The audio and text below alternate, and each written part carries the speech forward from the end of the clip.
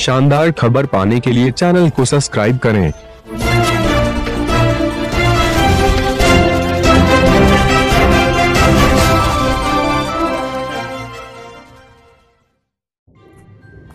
उत्तर प्रदेश के बलिया ज़िले में उत्तर प्रदेशी प्राथमिक शिक्षक संघ के सदस्यों ने जिला बेसिक शिक्षा अधिकारी कार्यालय परिसर में ग्यारह सूत्री मांगों में के समर्थन में धरना प्रदर्शन किया। इस दौरान मुख्यमंत्री को संबोधित ज्ञापन जिलाधिकारी को सौंपा गया।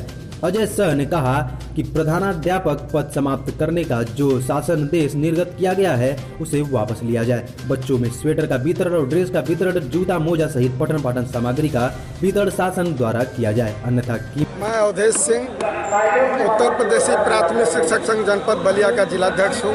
आज आप लोग बेसिक शिक्षा अधिकारी के कार्यालय के सामने आप लोग धरना दे रहे हैं। क्या कारण है? मामला क्या है?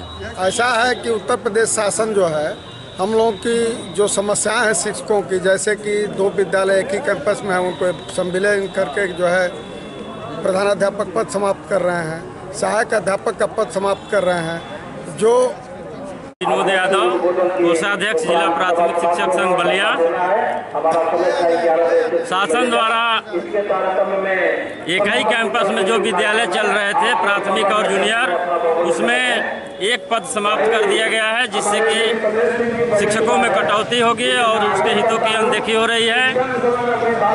और अंतर जनपदीय स्थानांतरण के लिए जो बच्चे आवेदन, जो शिक्षक आवेदन किए थे, शिक्षिकाएँ आवेदन की थी, उनका शीघ्र स्थानांतरण किया जाए।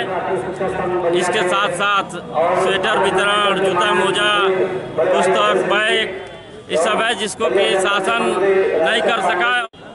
मैं राधे श्याम पांडे, जनपदीय मंत्री, उत्तर प्रदेशीय प्राथमिक शिक्षक संघ, जनपद बलिया।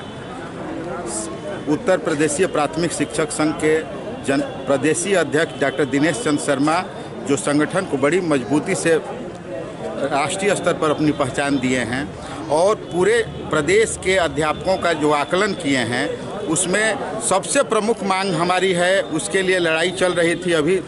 दो महीने के लिए स्थगित हुई है। नए अध्यापकों के लिए जो पुरानी पेंशन थी, वो पुरानी पेंशन के लिए कल बैठक रखा गया है और पुनः शासन से वार्ता हुई है। शासन हमारी मांग अभी तक नहीं मानी है।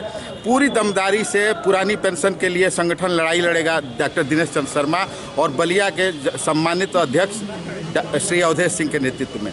इसके अलावा आज जो विशेष तौर पे 12 तारीख को डॉक्टर दिनेश दिनेश चंद्र शर्मा के नेतृत्व में उत्तर प्रदेश के सभी जनपदों सभी जनपदों पर एक दिवसीय धरना अजय सिंह अध्यक्ष प्राथमिक शिक्षक संघ नगर क्षेत्र बलिया।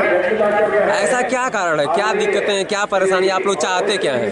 देखिए शिक्षकों की तमाम तरह की परेशानियाँ हैं जिसे शासन के कई बार ज्ञापन देने के बाद भी शासन अभी तक निर्णय नहीं ले सका। जैसे सबसे प्रथम पुरानी पेंशन की मांग पूरे देश स्तर पर चल रही है उसके बाद शासन ने निर्णय लिया कि एक से आठवीं तक के सभी विद्यालयों को एक जो एक ही कैंपस में उनका विलय कर दिया जाए, जो कि शासनादेश के अंतर्गत नहीं है। प्राथमिक विद्यालय और जूनियर हाई स्कूल दो संवर्ग हैं, दोनों अलग अलग ही होंगे। बिना शासनादेश में संशोधन किए इस तरह के सम्मिलन नहीं किया जा सकता और इस तरह से पद खत्म करके शिक्षकों के सम्मान के साथ खिलवाड़।